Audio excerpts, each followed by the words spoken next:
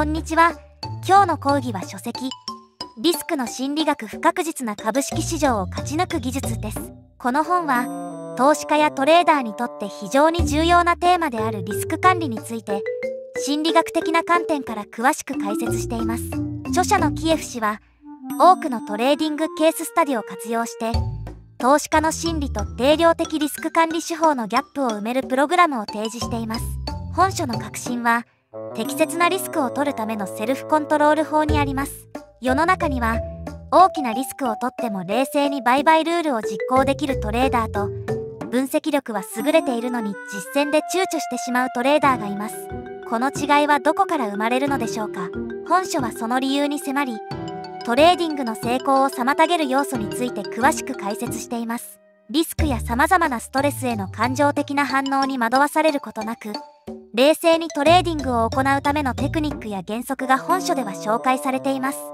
例えば、興奮、怒り、恐怖、ストレスといった感情にとらわれずに取引するための心理的テクニックや、完全主義、意思決定麻痺、塩漬け、衝動性などの問題ある行動を克服する方法が詳しく解説されています。本書は、リスクを取ることは決して危険なことではないという前提に立っています。むしろ、リスクを回避するという通常の考え方から脱却し積極的にリスクを活用することの重要性を説いています。段階的なアプローチを経験しリスクに関する新しい視点を得ることによってトレードの成功率を高め利益率を増やすことができるというのが著者の主張です。本書の構成は序章から始まり4つの部に分かれています。大愛部ではリスクの本質について解説し大 II 部ではリスクの問題を扱っています。大 III 部ではリスクと性格の関係について詳しく述べ、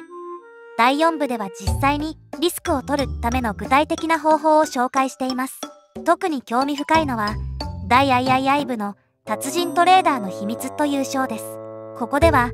成功したトレーダーたちの特徴が詳しく分析されています。例えば、達人トレーダーは大量のデータに目を通す能力や自分のスタイルを微調整する能力を持っているといいます。また新しい視点を作り出す力や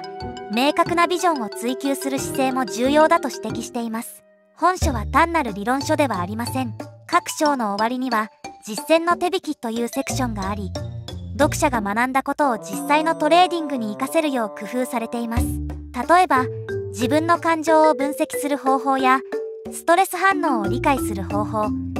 さらには完璧主義と戦う具体的な方法などが紹介されています。著者はリスクを取ることの重要性を強調しつつもただ無謀にリスクを取ればいいというわけではないと警告しています。適切なリスク管理こそが長期的な成功につながるのだと説いています。そのためには自分の感情や行動パターンを深く理解しそれをコントロールする能力を養うことが不可欠だというのが本書の主張です。この本は単に株式市場での成功だけでなく人生におけるリスク管理の重要性も示唆しています。不確実性と予測不能性に直面した時にどのように行動を起こすべきかその答えを探る上で本書は非常に有益な指針となるでしょう。トレーダーや投資家だけでなくビジネスパーソンや学生など幅広い読者にとって価値ある一冊だと言えるでしょう。この書籍を読むことで読者は自分のトレーディングスタイルや投資アプローチを深く見つめ直す機会を得ることができるでしょう。多くの人は自分の行動パターンや思考プロセスを客観的に分析することが難しいものです。しかし本書で紹介されている様々な事例や分析手法を通じて読者は自己理解を深め自分の強みや弱みをより明確に把握できるようになるでしょう。例えば自分が過度に慎重になりすぎているのかそれとも逆に無謀なリスクを取りすぎているのか。そういった自己分析が可能になることでより効果的な投資戦略を立てられるようになる可能性があります。また本書で紹介されている心理的テクニックを実践することで市場の変動に対してより冷静に対応できるようになるかもしれません。これは単に投資の成績を向上させるだけでなく日常生活におけるストレス管理にも応用できる貴重なスキルとなるでしょう。さらに本書は単なる投資技術書ではなく人生哲学的な側面も持ち合わせています。リスクを取ることの意味や失敗から学ぶことの重要性など投資の枠を超えた普遍的な教訓が随所に散りばめられています。これらの洞察は読者のキャリア選択や人生の重要な決断にも良い影響を与える可能性があります。本書の特筆すべき点として理論と実践のバランスが取れていることが挙げられます。各章末の実践の手引きセクションは読者が学んだ内容を即座に実行に移せるよう工夫されています。これにより読者は単に知識を得るだけでなく実際にその知識を活用し自分の投資スタイルを改善していくことができるでしょう。また本書は達人トレーダーの特徴や行動パターンを詳細に分析しています。これらの情報は読者に新たな目標や理想像を提供する可能性があります。自分が目指すべきトレーダー像が明確になることでより効果的な自己改善の道筋が見えてくるかもしれません。本書の内容は投資やトレーディングの分野に限らずビジネスの世界全般にも応用可能です。例えばリスク管理の考え方やストレス下での意思決定プロセスなどは企業経営や起業の場面でも非常に有用な知識となるでしょう。したがってこの本は投資家やトレーダーだけでなくビジネスパーソンや起業家にとっても価値ある一冊となる可能性があります。さらに本書で紹介されている心理学的アプローチは自己啓発や個人の成長にも大きく寄与する可能性があります。例えば完璧主義や決断力の欠如といった問題に悩む人々にとって本書の内容は新たな視点や解決策を提供するかもしれません。これらの問題は投資の世界に限らず日常生活や仕事の場面でも多くの人が直面する課題です。本書を通じて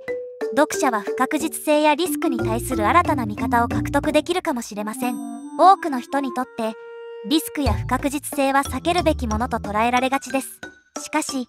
本書はそれらを積極的に活用することの重要性を説いています。この考え方の転換は読者の人生観や価値観にも大きな変化をもたらす可能性があります。また本書で紹介されているデータ分析の手法や市場の性格を理解する方法は投資以外の分野でも応用可能です。例えばマーケティングや商品開発さらには政策立案などの分野でもこれらの知識や技術は有用となるでしょう。つまり本書は読者のキャリアの幅を広げる可能性も秘めているのです。本書は読者に自己反省と継続的な学習の重要性を強く印象づけるでしょう。投資の世界は常に変化し続けており一度習得した知識や技術も時代遅れになる可能性があります。本書はそういった現実を直視し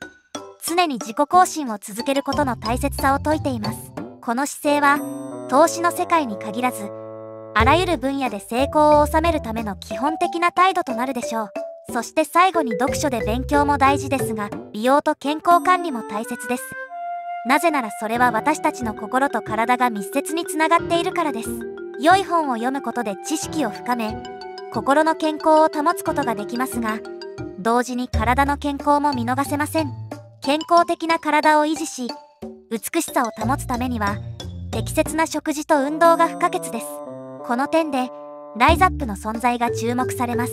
ライザップは結果にコミットをスローガンに掲げるパーソナルトレーニングジムであり単なるダイエットだけでなく健康管理にも特化したサービスを提供しています。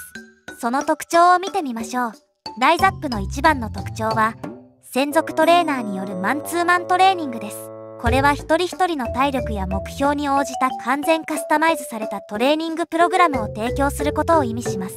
トレーナーはあなたのニーズを理解し効果的な運動計画を立てるために常にサポートします。また食生活やメンタルのマネージメントもライズアップの重要な要素です。健康的な食事とメンタルの健康はダイエットやトレーニングの成果を長期間維持するために不可欠です。ライズアップではトータルなアプローチであなたの健康をサポートしリバウンドしにくい体づくりを目指します。さらに30日間無条件全額返金保証という安心のサポートがあります。もしライズアップでのトレーニングが期待通りに進まない場合でも全額返金が保証されています。これはライズアップが自信を持って自社のサービスの質を保証している証です。ライズアップのトレーニングプログラムは週に2回のトレーニングでありながら1日50分という無理のないスケジュールで達成可能です。忙しい現代人にとっては非常に魅力的な点です。さらに無料カウンセリングや完全個室のプライベートな空間というサービスも利用者に安心感を提供します。総括するとライザップは単なるダイエットジムではなく健康管理にも焦点を当てたパーソナルトレーニングジムとしてその地位を確立しています。専属トレーナーによるマンツーマントレーニング。健康的な食事の提供。30日間の全額返金保証などそのサービスは多岐にわたります。自分の体を健康的に管理し理想の体型を手に入れたいという方にはライザップが最適な選択肢であることは間違いありません。気になった方は概要欄のリンク先から詳しい情報をご覧ください。以上で講義を終了したいと思います。最後までご視聴ありがとうございました。チャンネル登録もよろしくお願いいたします。